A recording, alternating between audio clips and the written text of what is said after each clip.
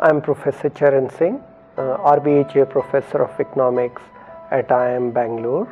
Uh, before joining here in December 2012, I had uh, been working at the International Monetary Fund for about three years. And before that, I was with the Reserve Bank of India, where I have worked for more than two decades. I joined them as a research officer in 1984. I've also worked as a probationary officer in Punjab National Bank, and before that, I did a short stint as a lecturer in economics. My areas of research are a little wider and that basically comes from my experience having worked in the Reserve Bank for more than two decades and also having worked with the International Monetary Fund for more than three years.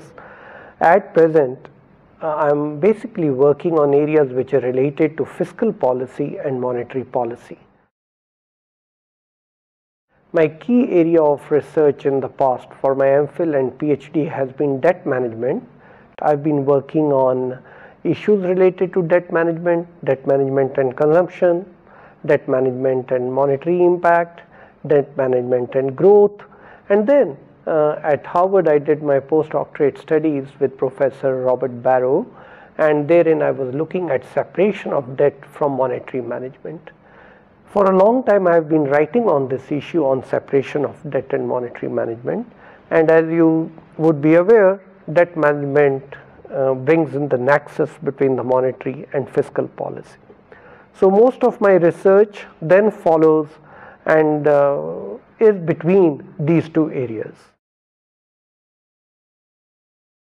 As far as my specific areas of research are concerned, I've been looking at asset prices and that is wherein the housing markets become very important.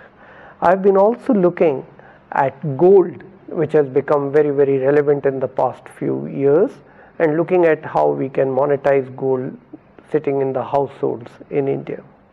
I've also been working on financial inclusion. Another related issue on which I have been working recently is aging and that again comes from my experience at the RBI where we used to be looking at the financial instruments that aging population would require. Obviously, in the last few years, with the growth having suffered, non-performing assets have increased very rapidly in our country. And therefore, I've been looking at what these non-performing assets are, why are they increasing, and what are the ways to address this issue and keep the non-performing assets under control. Economists cannot be away from the society and with experience one begins to understand that there are social maladies and there could be economic factors in it. One of that social problem which attracts my attention and I've been writing is women issues and their contribution to the economy. That's another area on which I'm beginning to think and beginning to write as to if women in our country suffer, would that be good for an economy or bad for an economy?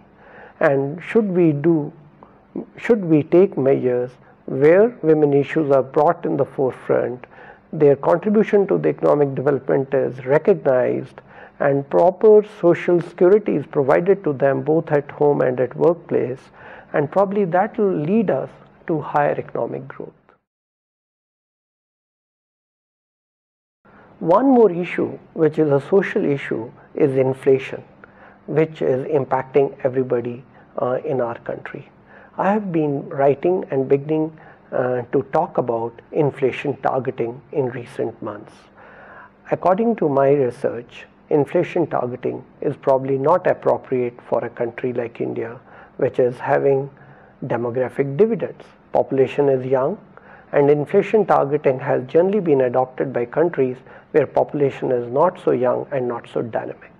So I have been questioning the concept of inflation targeting that is another area of research which has been taking lots of my time because most of the time it's considered modernizing monetary system implies inflation targeting and I have yet to come across evidence which shows that the multiple indicator approach that was adopted in our country in 1998 was faulty or has become faulty in the recent years.